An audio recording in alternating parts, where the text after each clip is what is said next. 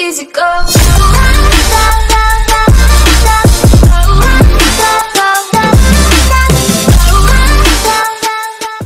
Hey guys today I'll show you how to get a free item in Roblox. First you will have to join this game. Tommy Play. The first one. Join. When you join the game you will receive a badge. Now you can leave the game.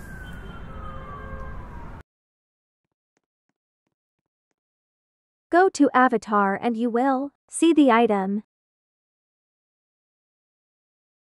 Look how cute it is. Anyways, that's how you get it. I hope you guys enjoyed. Subscribe? Maybe? Yeah? Thanks. Bye 333.